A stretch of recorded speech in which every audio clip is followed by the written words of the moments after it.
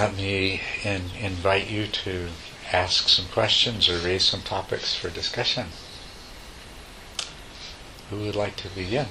Yes? About the uh, the walking meditation, where you divide the three parts into three, see the nine parts. Yeah. Are they all equally spaced, or is that just a matter of awareness? I mean, should it should it be an equal pace over all nine parts, or not necessarily, or Not necessarily. It's what what uh, works best for you.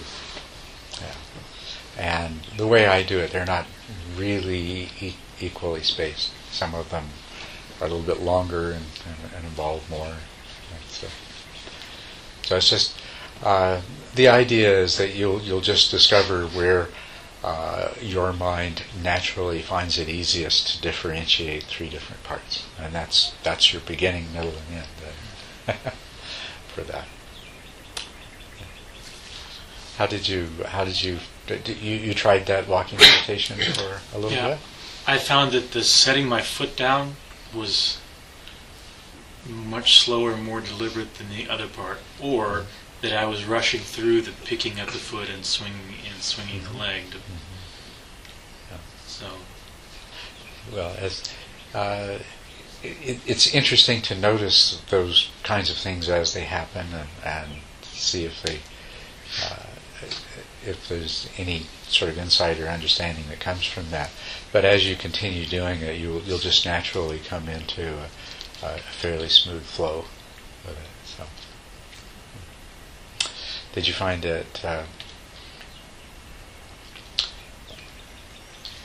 uh, did you find the process of doing it uh, something that uh, uh, was useful, helpful to you? Or? yeah, I did because it, it it gives you something to gives you something to anchor on rather than just walking or even trying to walk slow or Yeah. I also found that just like with every other object, once I started to get used to it, that it was easy for it to fade in, into the background. And, Yes. Yes. You know, when it when it was new this morning, it was it was all Right. fun and exciting, and later this afternoon, it was like, eh, Yeah. you know, we're just walking. Well, uh, yes. Once you get familiar with this division into three and three and three, then that can become uh, easy to let it slip into the background.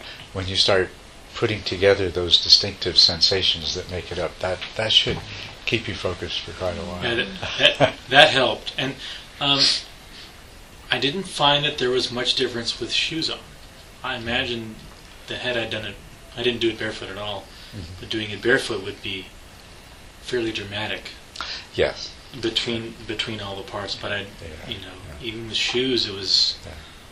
you know, Yes, uh, and uh, there's there's different uh, things that you discover doing with and without shoes. And actually, my preference is uh, to do it with sandals, because the sandal falls away from the sole of your foot when you raise it, and, oh, and you feel the sensation of the air moving, which you also feel when you're barefoot, but you don't when you have shoes on.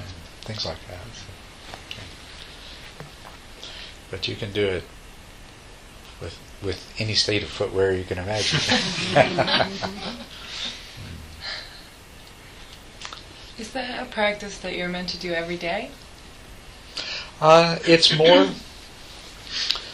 Uh, it's it's actually more suited to doing in a retreat setting where you're working, where you're getting into deeper and deeper states of concentration, and this practice helps to balance that out with with more and more intense and vivid mindful awareness. But in your daily practice, uh, y- you're always free to, you know, when you have a, a collection of different techniques, like different tools you can use, then you're free to choose the ones on any particular day or occasion that uh, seem to to suit your mental state and the other factors, maybe the, the things that you feel like you need to accomplish. And I, I do encourage you to do some walking meditation every day. Um, usually, you know, I, I, it's a large enough challenge to find uh, the time to sit every day. But very often there, there's an opportunity to, uh, at, at least if you're willing to, uh, take advantage of it. There's an opportunity to do uh, 10 or 15 or 20 minutes of walking meditation sometime or another during the day. Um, even uh, on a street, a sidewalk, or, or in a park or something like that. Uh, just for the sake of not feeling too goofy, you might want to do a, a faster form of walking meditation, part of your daily practice.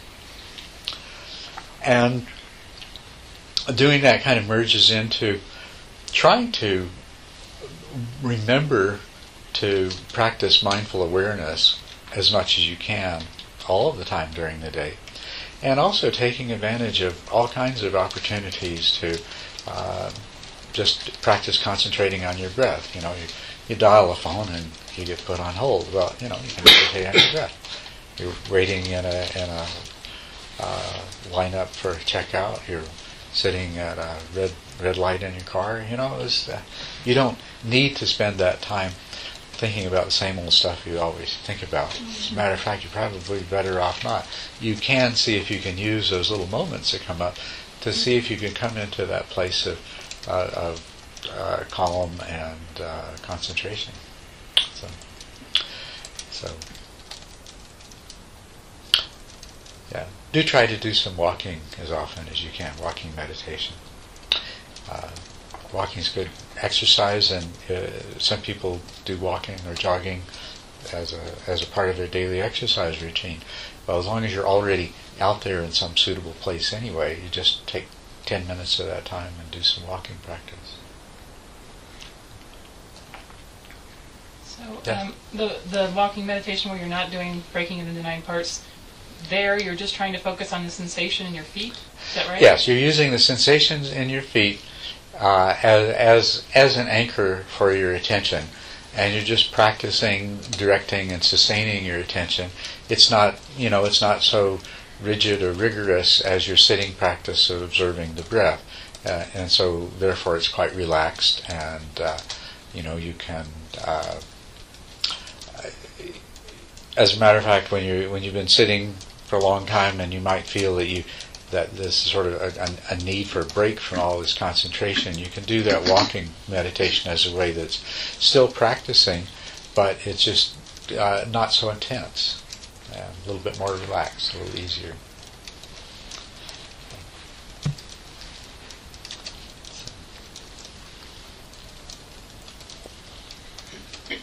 Mm-hmm. Yes. Can you elaborate on what you said last night about uh, not being single pointed until the very end?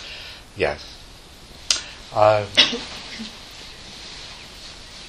one of the reasons uh, that uh, I found uh, seems to be with, you know, there's a lot of people who have been practicing meditation literally for years and they can't keep their mind from wandering. They can't stay with a meditation object for the whole period of a sit. A lot of them, when I talk to them, you know, uh, I discovered that they felt like they were supposed to uh, not only pay attention to the meditation object, but at the same time exclude everything else.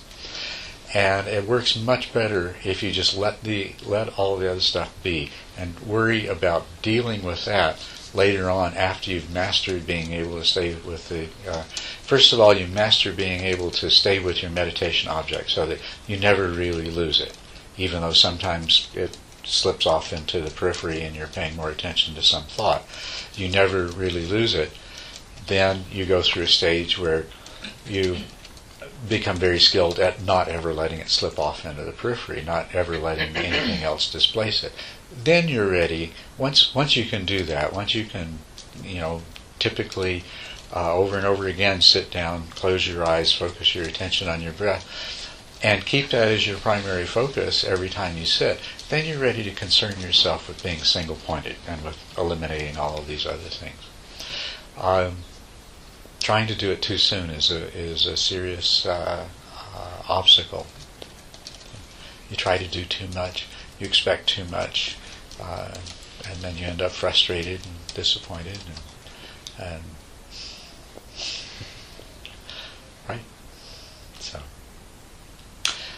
nice, nice, easy, manageable steps. That's that's the way to proceed.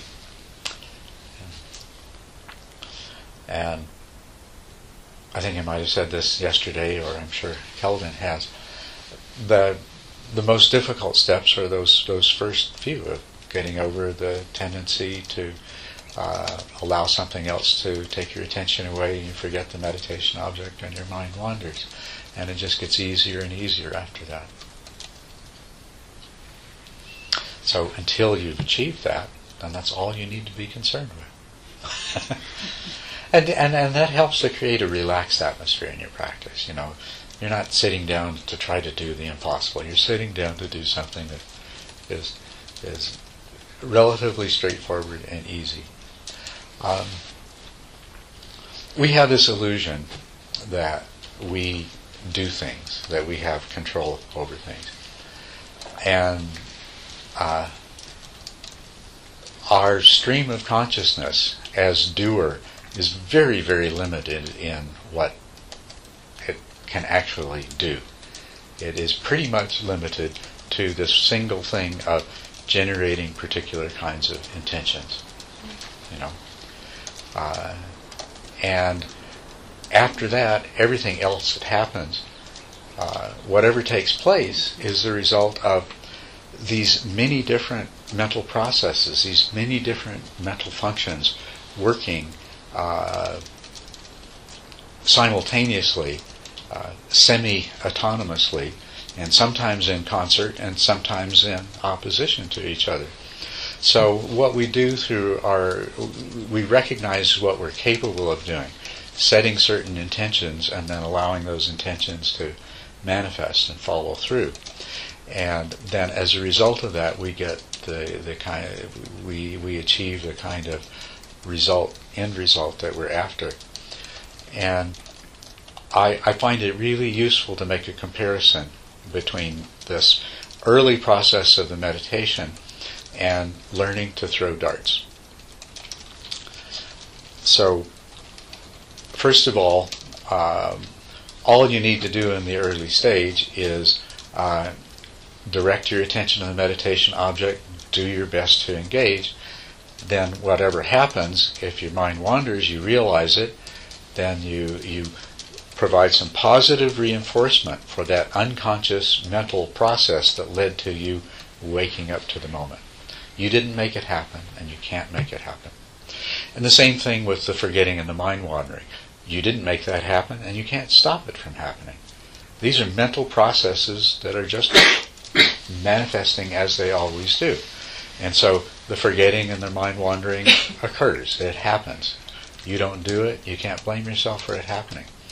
The waking up to the realization that your mind has wandered uh, and, and, being aware that this, you know, you were intending to meditate, this is also not something that you do. It's not something that you make happen. You can't, you can't stop the tendency to mind wander by punishing yourself. It just, it will not work. But you can, through positive reinforcement, make the recognition that the mind wandering has occurred happen more rapidly and more frequently. So that you stop the mind wandering sooner. And you do that by appreciating it, by appreciating that realization and by valuing that waking up to the present moment. That will have the effect of conditioning those unconscious mental processes that make it happen to make it happen more often. Right? And so that's why you just keep repeating that. You just all you have to do. It's a, meditation is so easy. You just sit down and whenever your mind wanders and you realize it, feel good about realizing it, and bring your attention back. and after a while, just by repeating this enough, you know, you're, you're, it, it, takes longer for your mind to wander and it comes back quicker. And uh, when I compare that with, with the way you play darts, you know, so you're going to learn to throw darts for the very first time, and somebody puts this target with all these circuits way on the other side of the room and gives you a handful of darts and says, okay. Well, all you can do is formulate the intention to hit the target and throw the dart.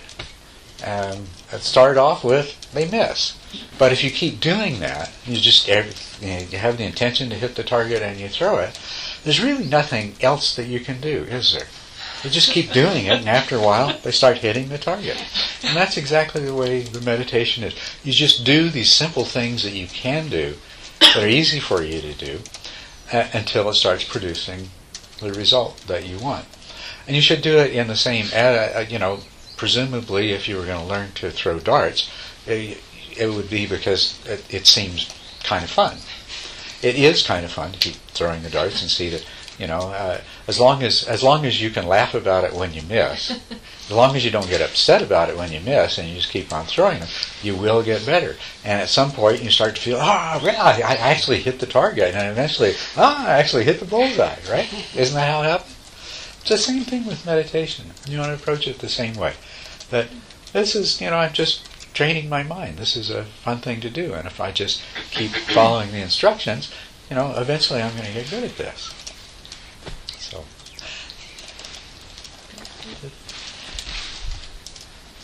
So.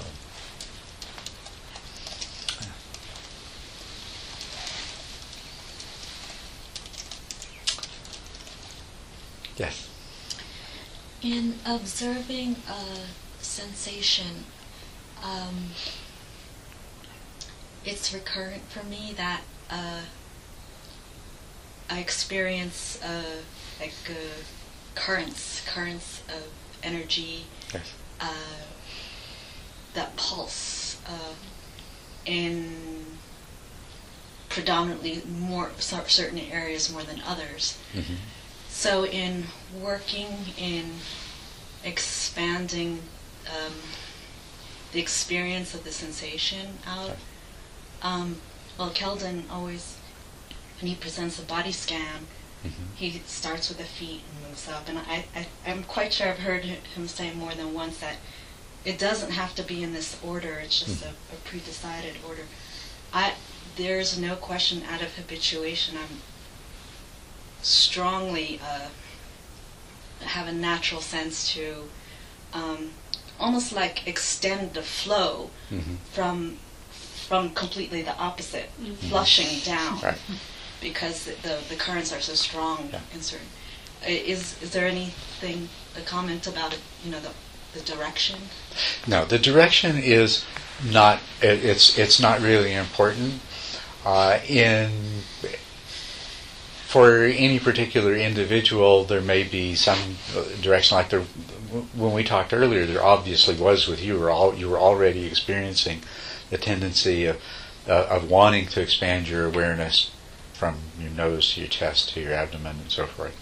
And so go with that. There's nothing special, as, as Keldon told you, there's nothing special about that at all.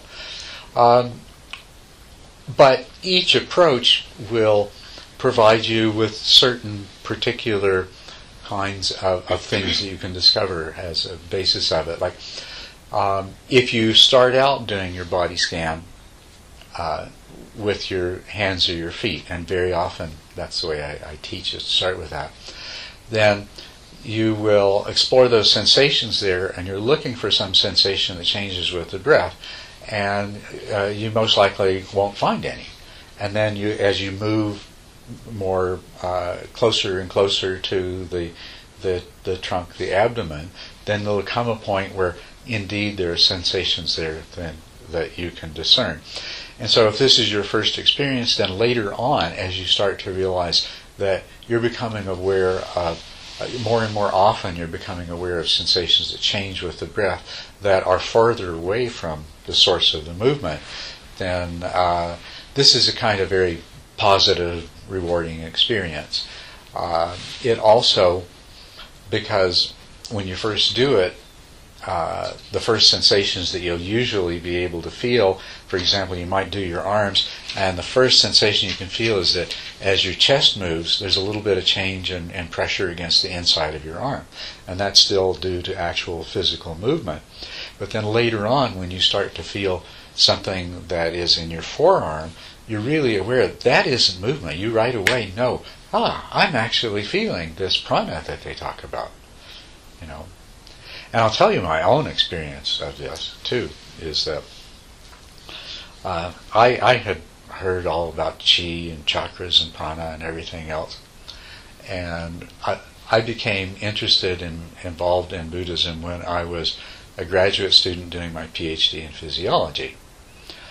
And to me, all of that sounded like a lot of overblown imagination, a lot of hooey. But in the process of doing my meditation practice, when I started doing that particular practice, I discovered that this chi, this prana, these chakras, these winds, that, hey, th- there's something real. All of these traditions have their own different ways of describing it, but they're all talking about something that is very, very real. And of course, now it's so familiar to me, you know. but uh, but to me, it was so amazing the first time I realized that I was feeling something that had absolutely nothing to do with, you know, sensations produced by the actual sense organs of my body. That I was sensing something that was of a completely different nature. And so, one of the things that I, I, I think that, uh, well, I like, I, I, think the reason that I like to encourage people to start with hands and feet is I, I love to have them have that same experience. Of, they've already gotten familiar with physical sensations, and then when the day comes that they realize that they're experiencing something that is no longer purely physical, then then it's it's it's a really wonderful experience for them. But back to your original question, it makes absolutely no difference at all where you begin, how you go, you know, whether you uh, you can proceed from your your foot to your ankle to your to your leg to your thigh to your buttocks, or you can go from one foot to the other foot and then the other uh, ankle and, and, and the opposite ankle. And any any direction, any pattern, any way you want to do it, uh, it doesn't really matter. Uh, also, uh, there are um, some people are naturally inclined to, you know, that uh, they may start out in one area of their body, but they very quick, instead of methodically going, you know, one arm, the other arm, one leg, the other leg, things like that, they start out in one area of the body and then very quickly they expand to the whole body, you know, and they just, they're not inclined to do this methodical one part at a time, and so they just go right ahead. And that's fine. Whatever, whatever works for you. As long as as long as your uh, attention is being directed and sustained intentionally, and as long as the process is one of, of intensifying your awareness of sensations, uh, first in, in one area, uh, then in another, first in a small area, then in a larger area. That's the most important thing, is that you are enhancing the power of your mindful awareness and you are exercising your ability to direct and sustain attention. So as long as you're doing that, the sequence isn't important. I have a question. I did so well in my meditations this morning. I mean, I felt that I was able to really stay on, stay on the uh, breath, and and I was thought I was really making some progress. And then this afternoon, when I came in, um, it, there was, I just didn't want to do it. Mm-hmm. Uh, my my uh, something in me just said I'd, I'd done this enough. I did it all morning. I, I didn't know really how to work with that because it was so strong. It's like, and then when I would sit there and try to focus on my breath, and um, I think a lot of a dullness and un, uh, disconnected thoughts floating through, not even about anything, you know, just like mm-hmm. different voices and stuff that didn't seem to have any, any anything mm-hmm. to it. But I, I really couldn't. It was like there was a negative influence that just said, I'm tired of this. I don't want to do it anymore. Right. Yes, and I, Thank you, Allegra. That's that's a very good thing to bring up, and, and so that we can address. In fact, that feeling is uh, it, it's really no different than any other distraction uh, or emotion or thought, but we don't recognize that.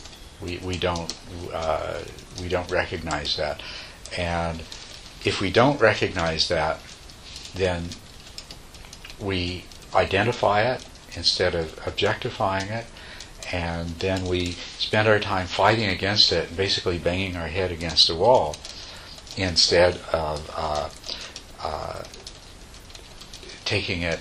What we should be doing is taking it as as a new meditation object.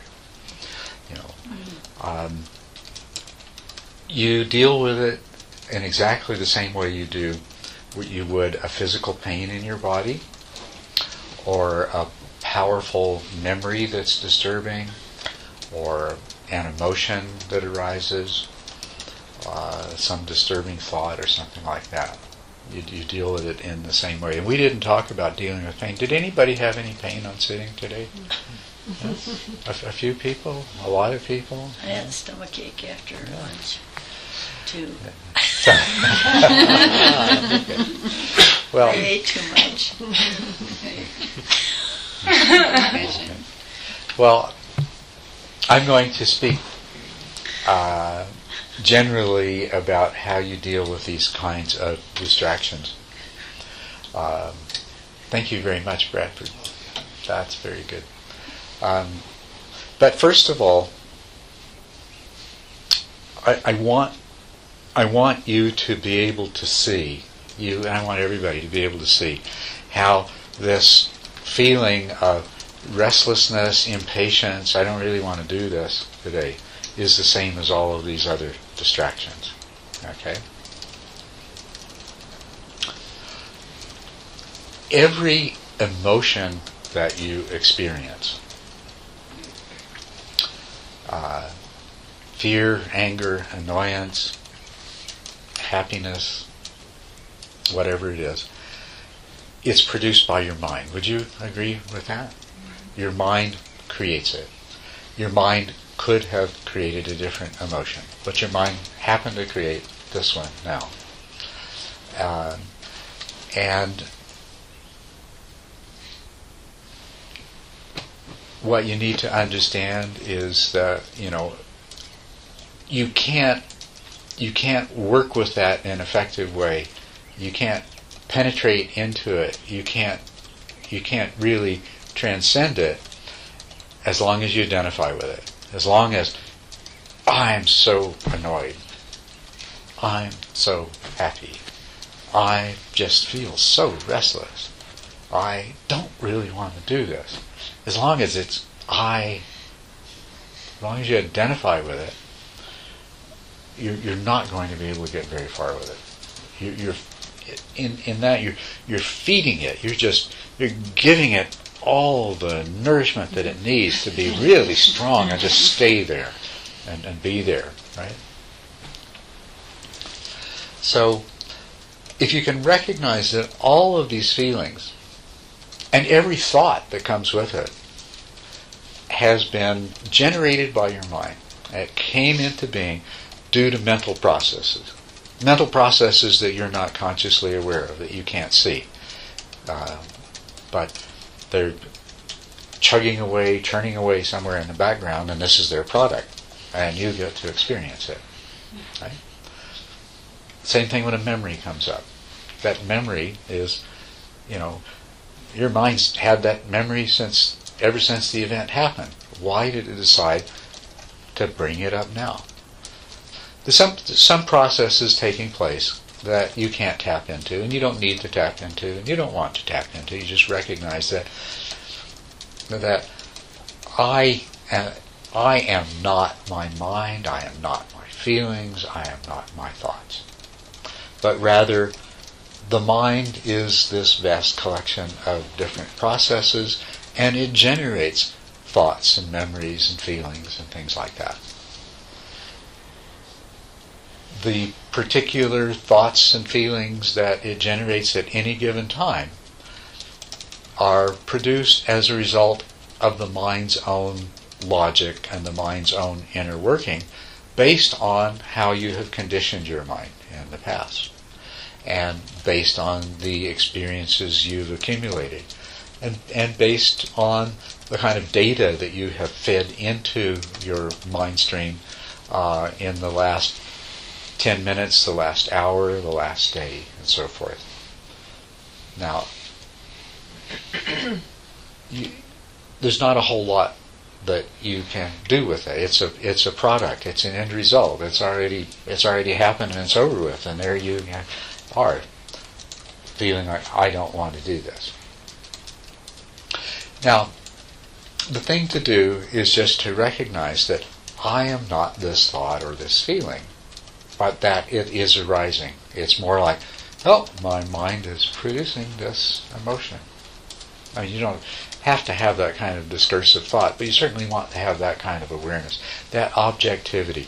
As soon as you create that kind of space between the sense of selfhood and the uh, and whatever it is that's happened to come up, then you can now you're free to take that as an object in the same way you do the sensations of the breath. You don't create the sensations of the breath the body breathes all by itself, and the sensations arise as a result of that breathing, right?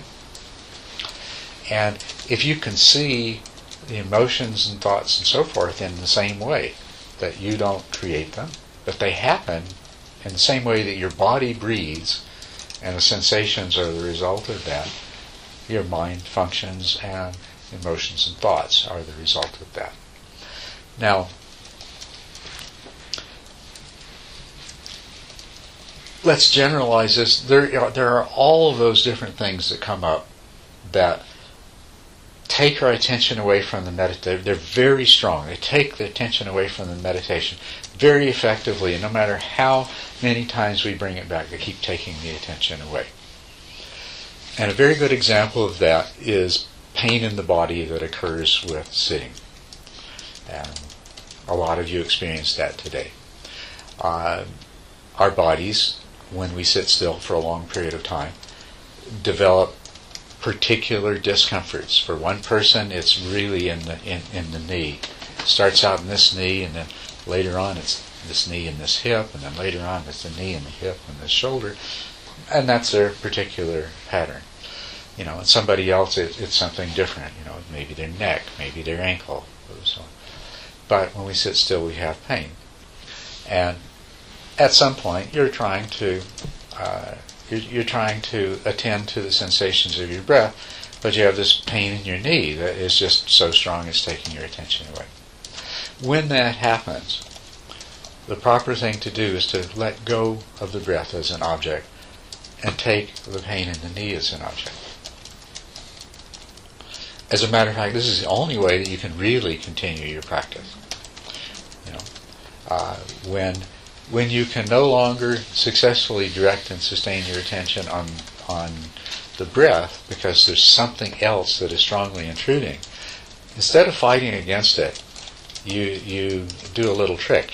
You you do a little mental uh, uh, uh, jujitsu, and you say, okay, I'm going to make that my meditation object.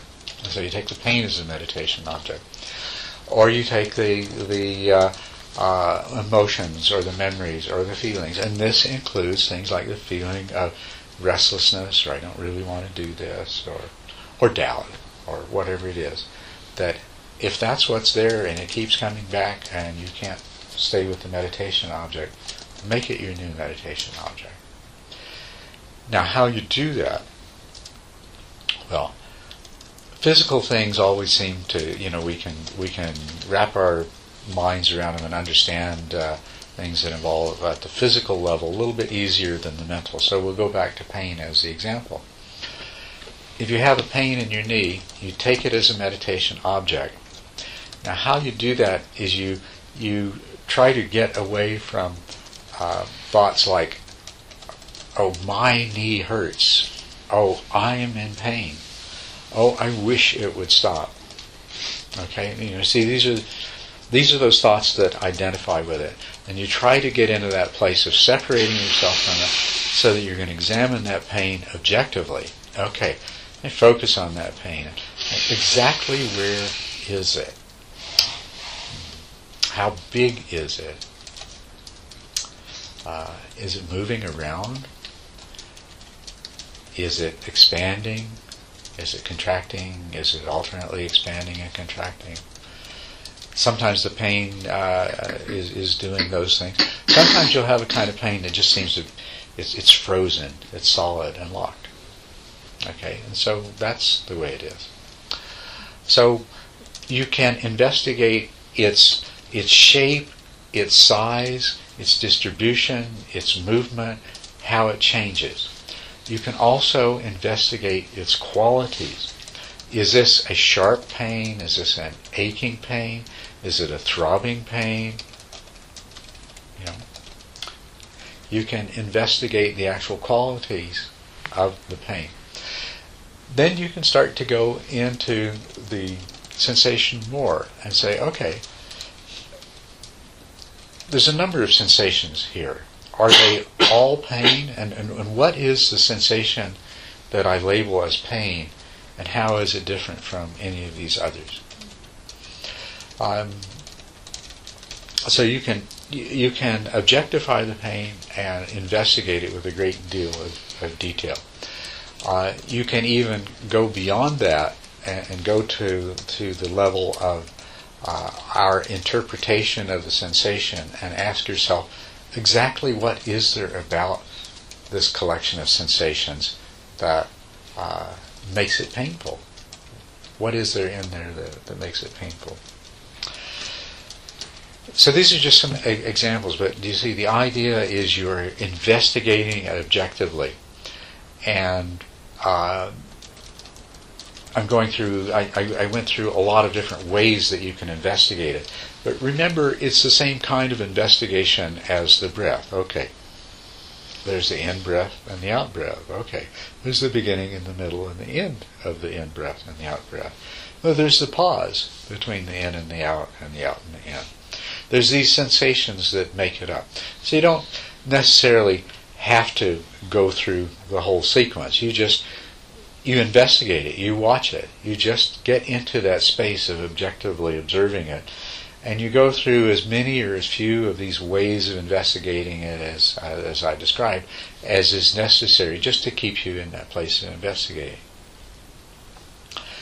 Um, very often, what happens is that after a short time of doing this, the pain sometimes it disappears entirely, just it's gone. Other times it fades and it becomes less painful. Sometimes it just becomes a collection of sensations and you know it's not that painful.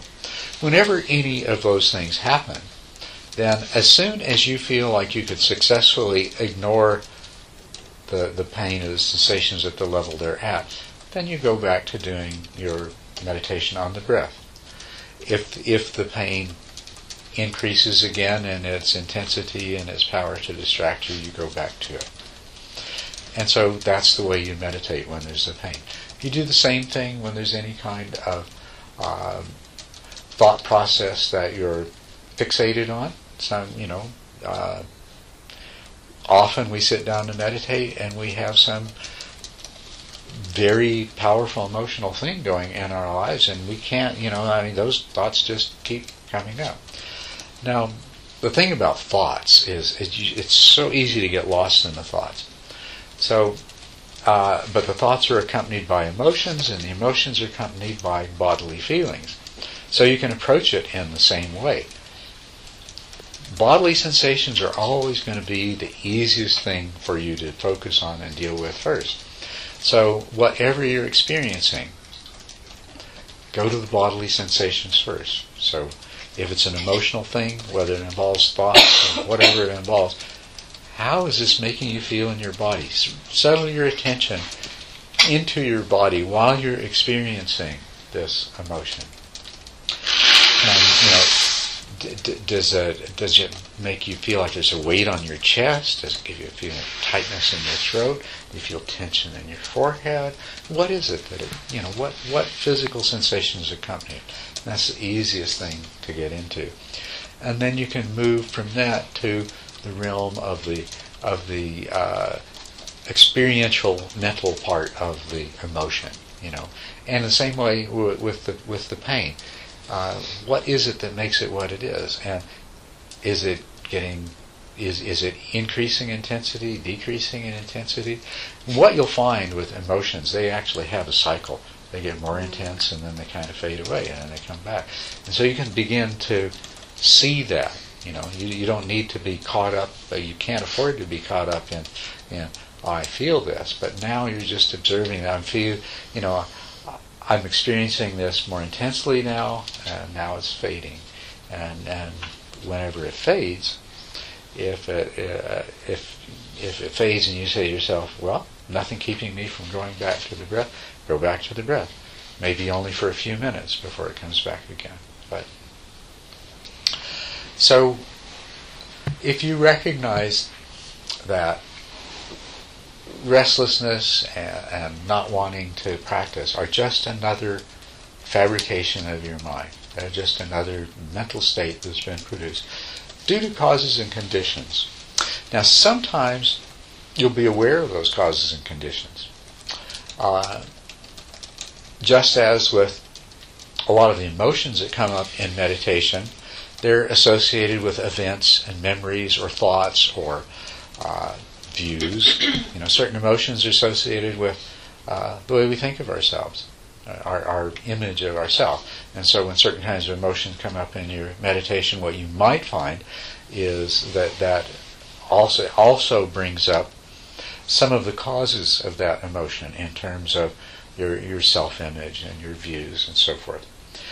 In the same way, uh, you know, in the process of objectively examining something uh, like what you've discussed, if you if you take it as a meditation object and examine it objectively, this also gives it a chance to reveal itself. And you know, what are what are the because it has causes. There are your your mind is above all. Your mind is logical.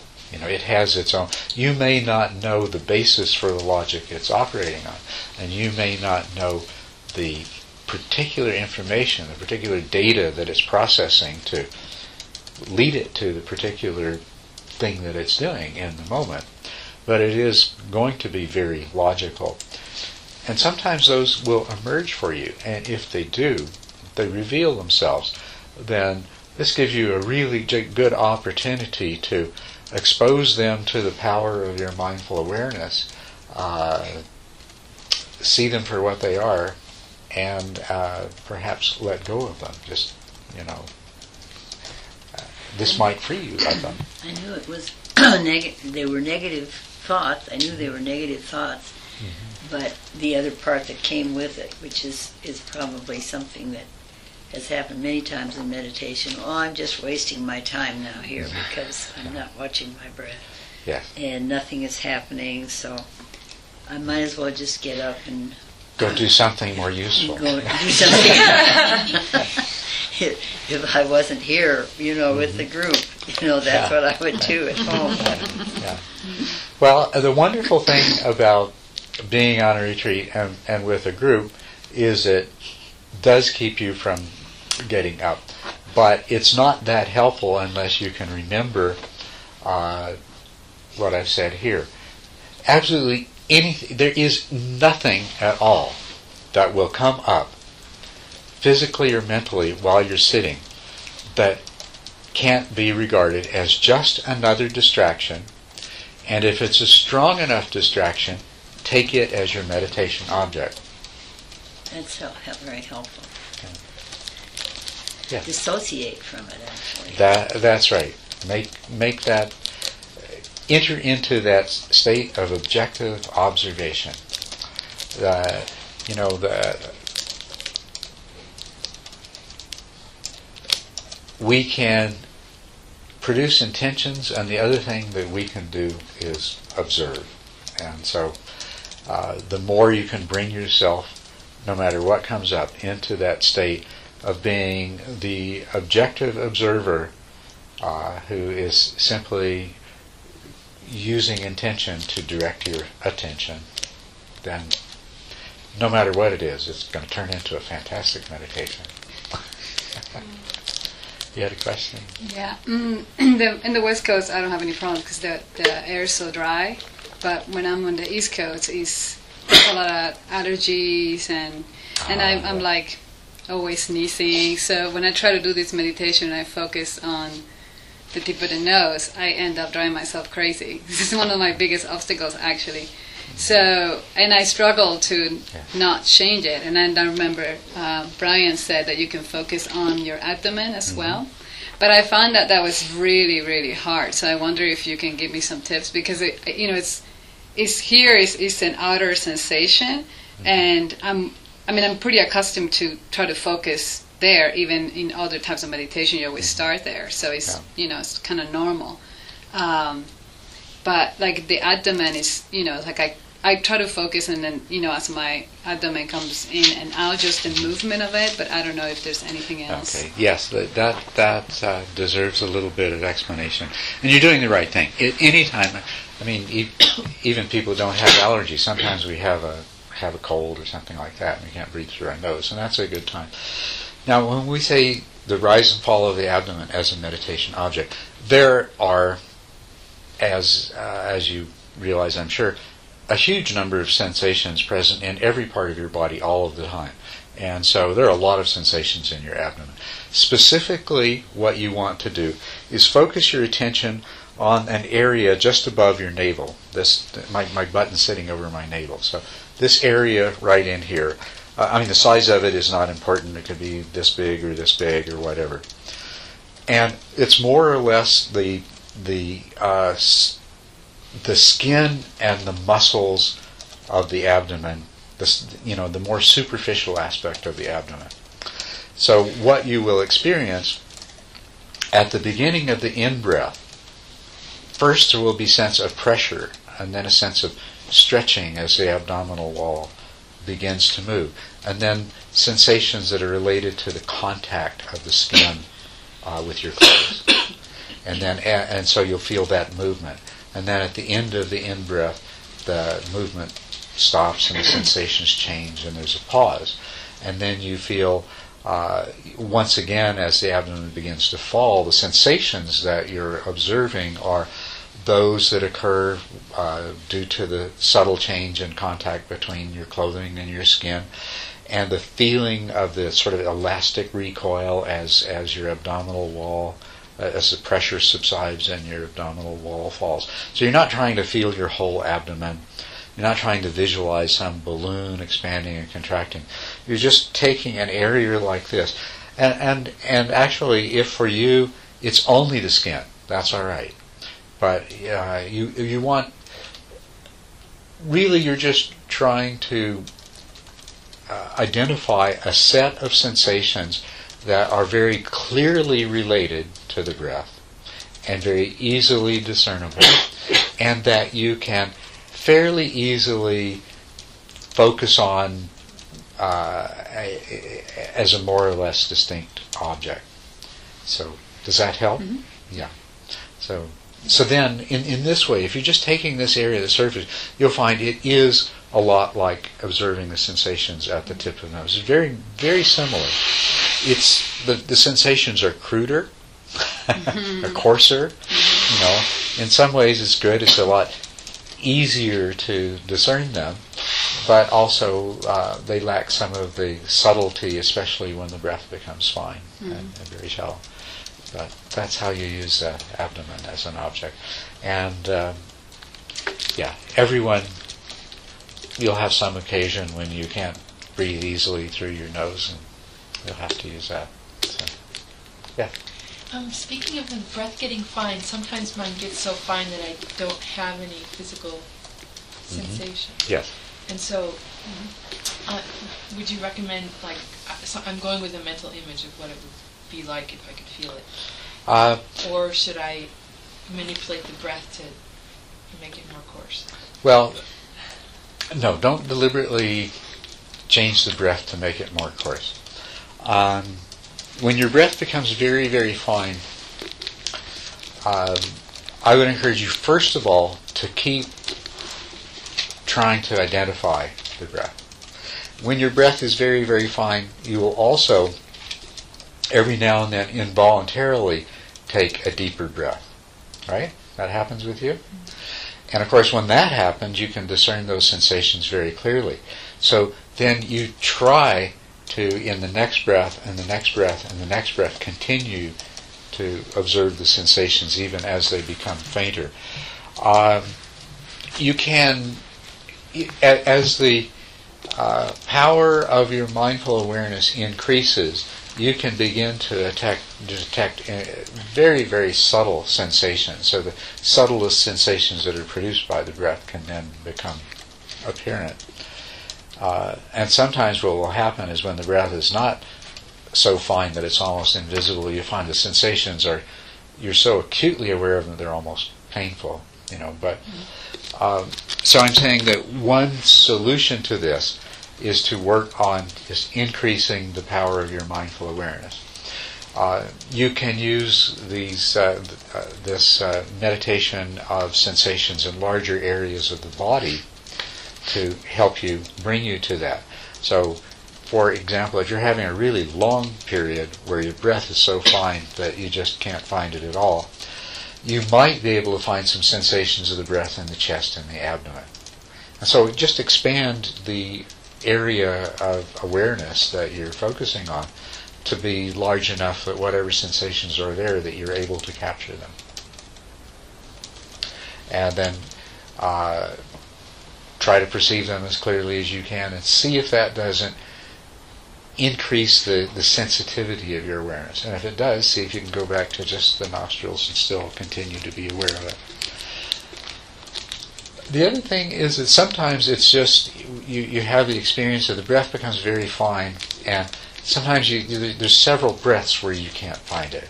And, and then it's back again for a little while, and then there's a few breaths where you can't really perceive it.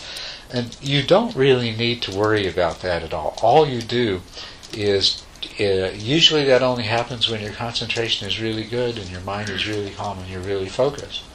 So you can just stay focused on the area at the tip of your nose and continue to be looking for the sensations until they do come.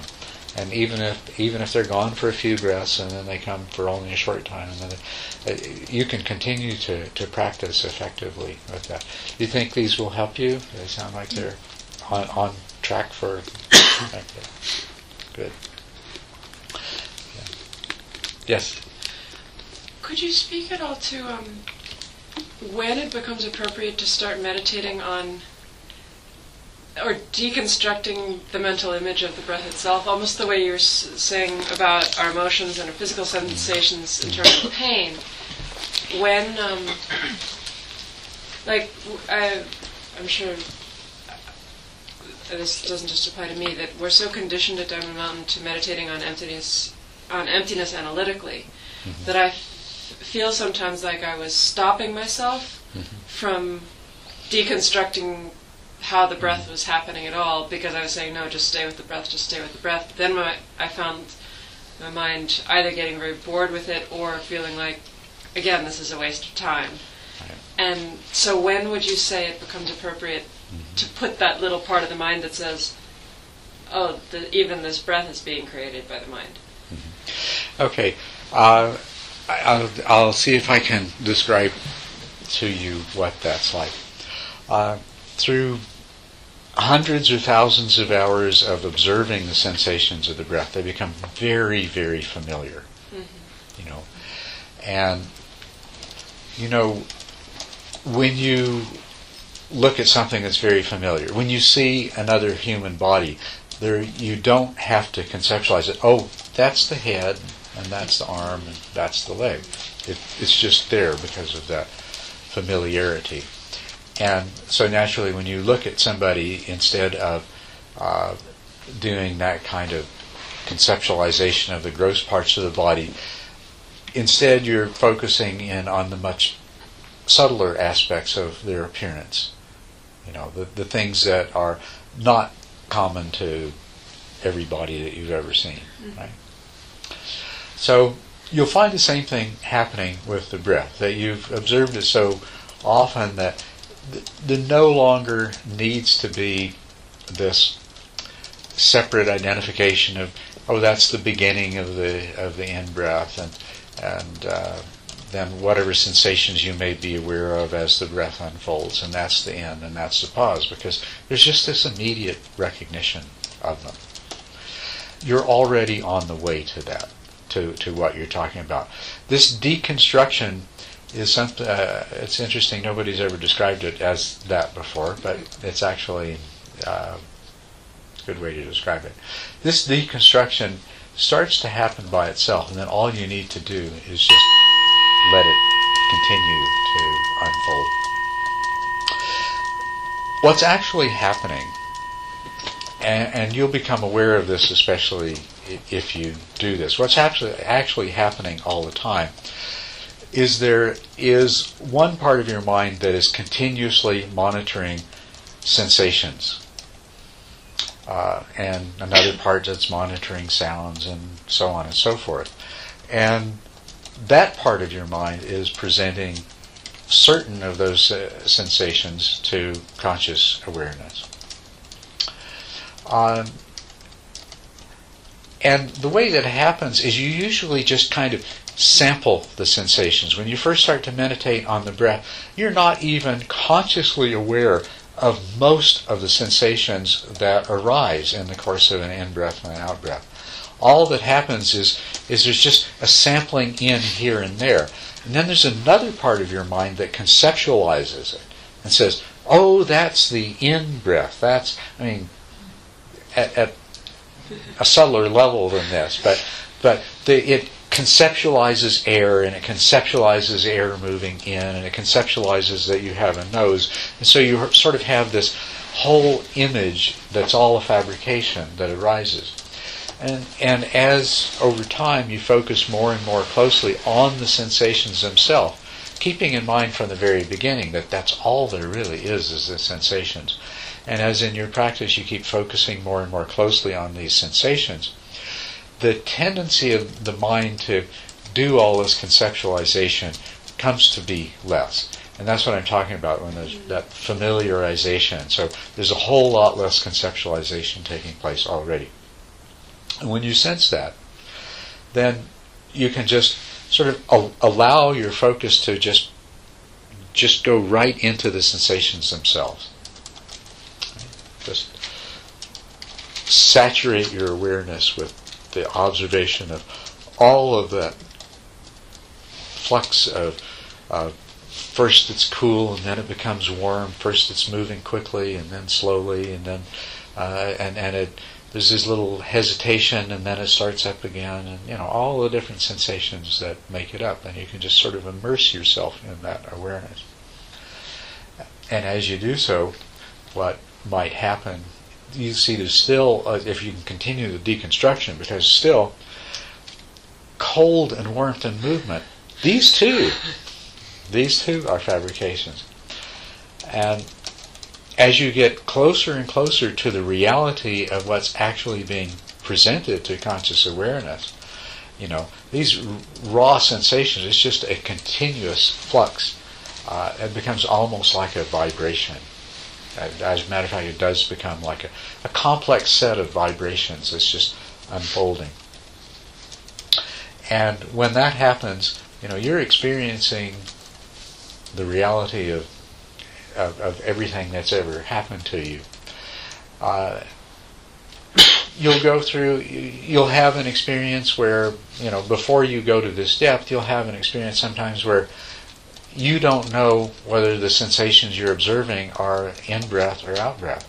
And you know that it would take such a tiny little movement of your mind to identify them, but you become really aware that it is a separate movement of the mind that identifies those sensations. And so you can resist that happening and just go deeper and deeper into it.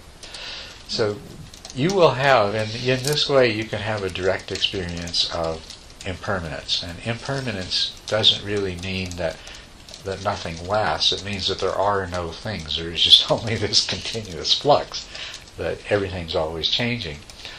And your mind won't like that.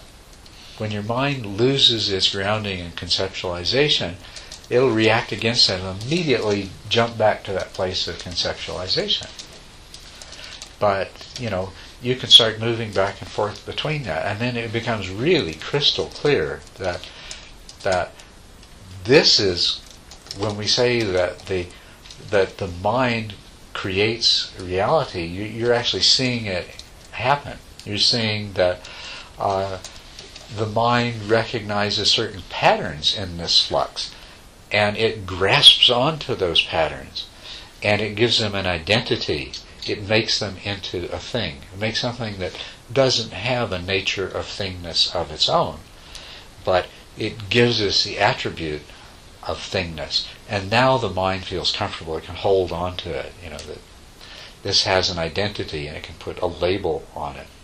So this is the difference between nama and rupa. Rupa is just that raw sensory information, un- unprocessed, unfabricated, unconceptualized. And nama is that whole process of making it into something that is comprehensible to the mind, graspable by the mind, understandable by the mind. And you see that that that thing that the mind has created, you see what it means to say that it's empty. It's empty of any reality other than that which the mind has projected as as uh, as its explanation, as its way of understanding and interpreting this. And this is going on all of the time.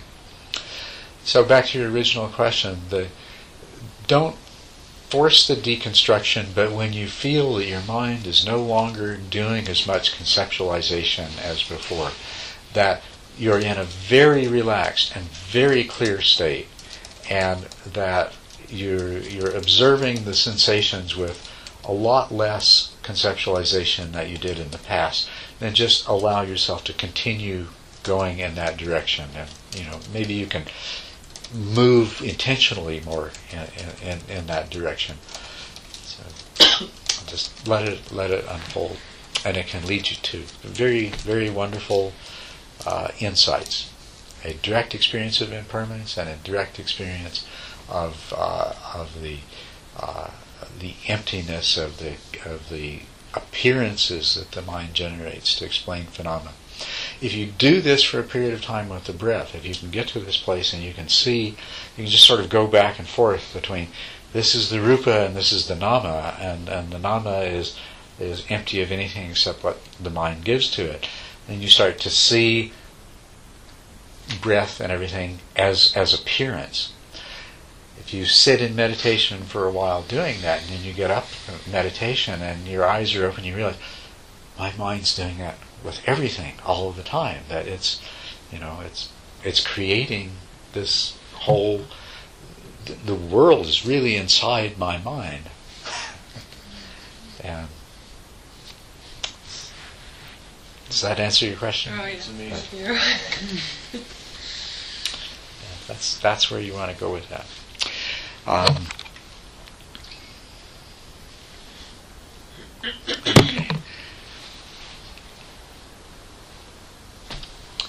Do you have Do you have more questions? Yes. Yeah.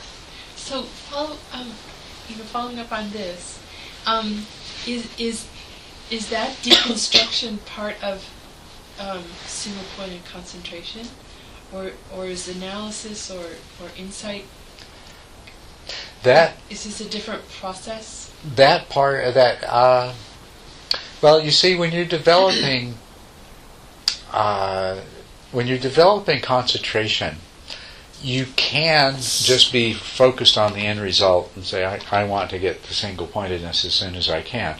And if you do, you'll miss out on the op- all of the opportunities for insight that are being presented along the way.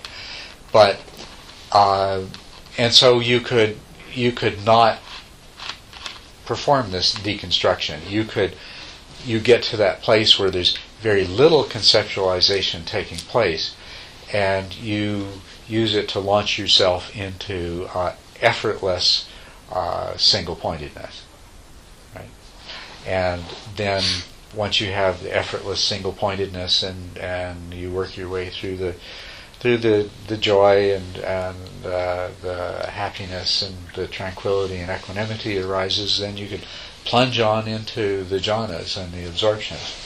But it's actually best if you don't. It's best, uh, I believe, that if in the entire process of developing uh, you, are not develop you, you are not developing concentration by itself, and I, I so I always try to say these together. In the process of developing concentration and the power of mindful awareness, if in that process you're always coming from the point of that you're you're allowing yourself to gain insight, understanding. You're you're in you're, you're seeing what the mind has to teach you at every step of the way and you you let that become evident. So if you're doing that, then it once you have the ability to focus on these sensations in this way, then all you need to do is just let it let it go in the direction that it's it's already started to go anyway, and let it bring you to the kind of discovery and insight that is already there. It's just waiting to be. It's just waiting for you to discover it.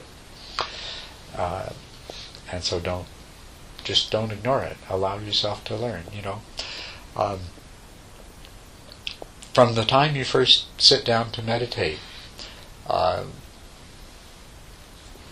you should be learning more and more every time you sit down about the way your mind works and about the relationship between your mind and reality. It should become very clear to you if you let it and if somebody has pointed out to you that said that says that all you are as an individual is these uh, five skandhas, these five aggregates, in your meditation, that should become apparent. All there is is uh, sensations, that's form, and feelings and perceptions and mental formations and consciousness, and uh, that should become really evident and it should also become evident that uh, the totality of the experience is subject to this natural twofold division into uh, the internal and the external, mind and matter, mentality and materiality, nama and rupa, and that in any given moment, if you're conscious, you're conscious of something, and what you're conscious of has to be one of those two. It has to be either nama or rupa. It has to be either sensation or the mental formations that have arisen. Um, sometimes they're mental formations that have arisen as a direct result of the sensation. You hear sound, and the sound causes the idea of bird, the mental formation of bird or car or cough or something like that to arise. Uh, other mental formations arise independently of sensation. Some mental formations are in the form of intentions, and so they're followed by sensation and so forth. So just allow these things that are there all the time. You're experiencing them over and over again while you're in meditation. So allow them to make themselves apparent. As you meditate, you should discover very, very clearly the meaning of the five aggregates and the meaning of the statement that says that that collectively these five aggregates do include everything that we can refer to as the individual. You know. And likewise, it should, in your meditation, become clear that your entire life, the totality of your existence, isn't that you have a body that exists and a mind exists, but the that existence is really grounded in conscious experience. And the totality of your life, of your existence, is a series of conscious experiences unfolding. And that each experience is defined by the object that's taken in that moment and whatever it leads to in the next moment and the next moment and the next. which of course is the teaching of dependent origination, right? So all of this is just there waiting to be discovered.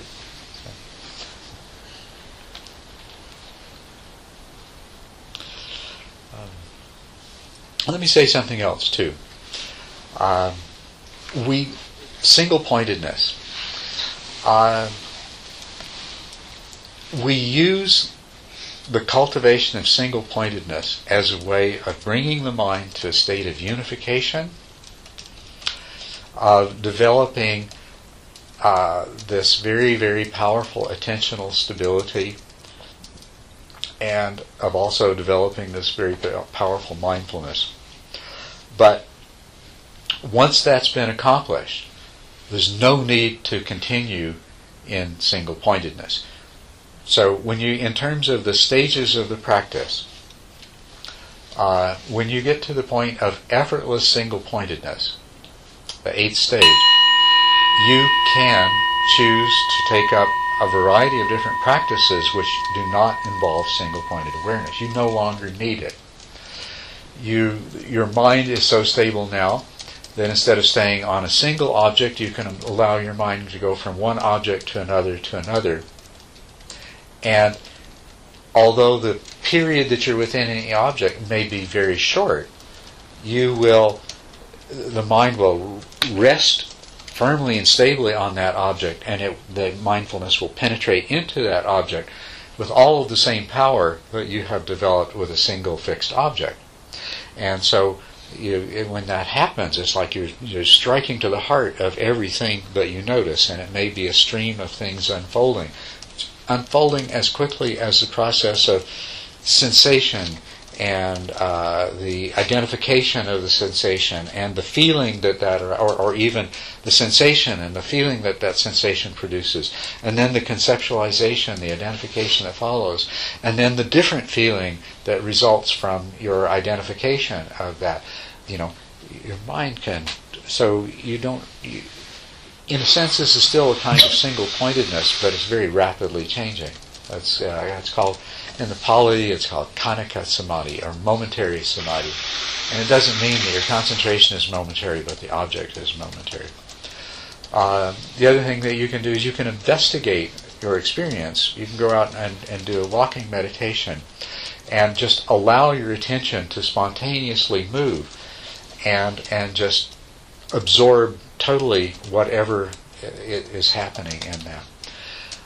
You can choose to practice uh, with no particular object. You can expand your awareness and make it very spacious and uh, just allow whatever happens to arise and pass away because your mind now is very, very still. And the essence of doing any kind of Mahamudra practice, which is what this really is, is your mind, you have to be capable of allowing your mind to be totally still as appearances arise within the mind and pass away.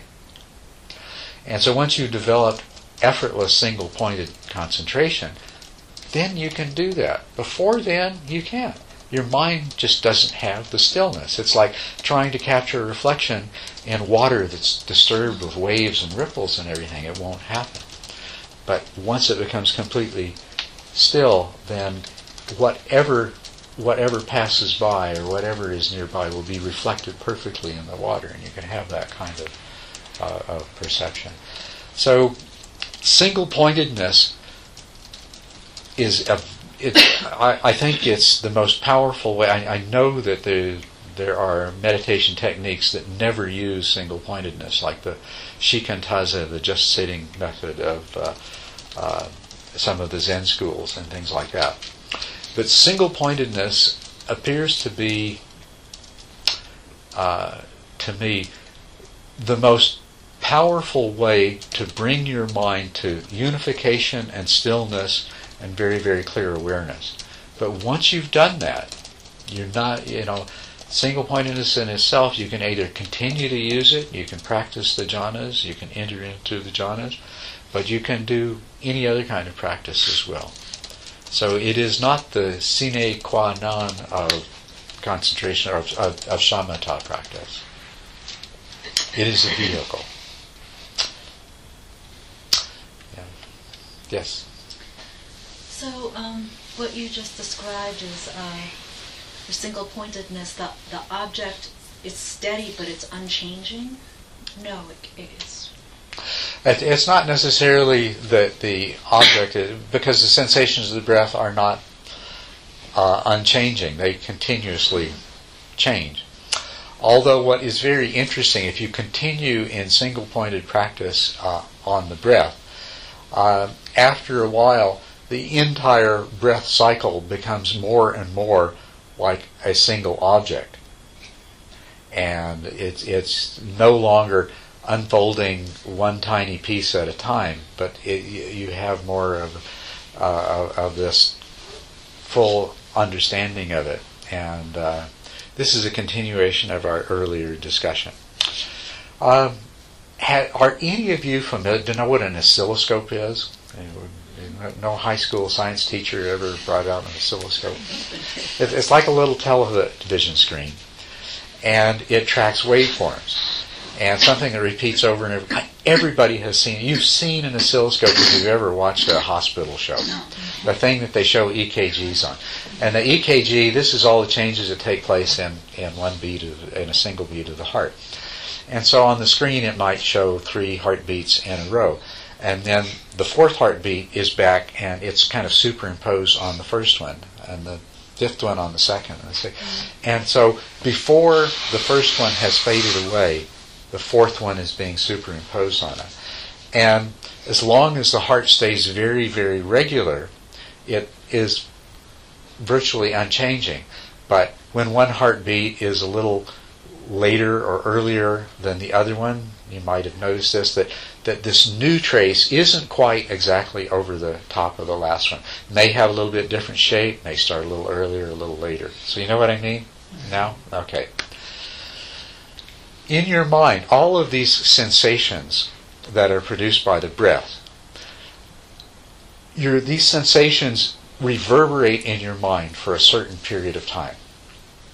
As a matter of fact, you could not recognize the sound of a bird call if they didn't, because each part of the sound arises and disappears before the next one comes. So the only way that your mind can grasp the wholeness of something is because it retains what's already passed for a certain period of time. You see what I'm saying here? A, a comparison is, you know, a, a melody, Twinkle Twinkle Little Star. If each note is played with a two minute gap between, you'll never catch the melody. It has to be close enough together that your mind remembers the last note, at the last few notes before the next one comes, before you can recognize it. Same thing with the sound of a car, uh, a dog barking, a bird singing, or something like that. Your mind has to retain the parts that are already passed. Same thing with the sensations of your breath. And your mind will retain those impressions uh, long enough so it becomes like like the trace of, of a heartbeat on an uh, oscilloscope in a hospital. That the fir- the impression of the last breath hasn't completely disappeared before the next one comes in place. And this is something that is entirely taking place in your mind. And so you can you can shift your attention away from the actual sensations, which is a continuous flux of, of momentary arisings and passings away. You can take your attention and pop it over here to this part of your mind, this preconceptual part of your mind, where the, those impressions are stored. And now the, the cycle of your breath becomes like a single object that you can perceive all at once in its entirety. And so while the breath is a changing object, it can become, it can take on all of the qualities of a sing, as of a stable fixed object. Uh, this is this is a pretty advanced and pretty refined state of concentration when you're able to recognize these mental imprints as distinct from the sensations themselves and redirect your attention from one to the other. But this is a powerful vehicle for entering into the deepest jhanas, and this is this is the other kind of nimitta that I was talking about. This is this is the one that uh, doesn't bother with the illumination and the light and just ignores it. So, where was this came from? Somebody asked me something about because you only do this with a, or are we only talking about single pointedness with a fixed object? Uh, well, it's a it's a it's a it's a constant object. Uh, usually, I think we use the term fixed object meaning constant. So the breath is a, a fixed object, but it's also a changing object. Uh, it, it changes moment to moment. One breath is longer or shorter, deeper or shallower, and so on and so forth. Yes. So, so you're saying that jhanas would actually be focusing on the unchanging mental image That's of right. breath That's right. and not following all the fluctuations That's right.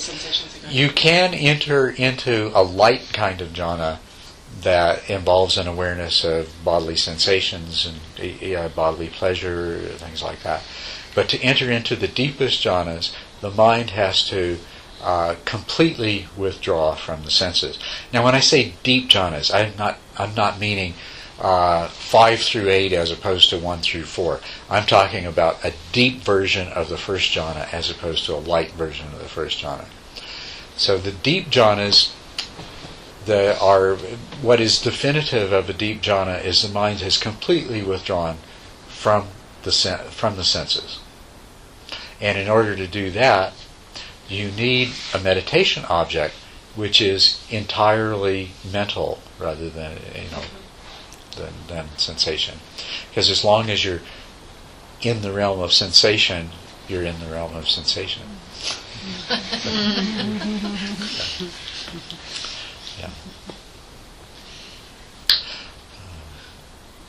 Oh, we we need a nice long retreat. So many things I'd love to tell you about. You're asking these these very good questions and uh, is bringing up very good points. But um, alas, we have the time and opportunity we do. We need to make the best of it. So I do want to sit with you. Um, so perhaps there's 34 minutes before the bell rings at 9 o'clock. Why don't you take the next four minutes to stretch? I know you've been sitting for a long time, and then we'll sit together for half an hour. Thank you very much for your wonderful question.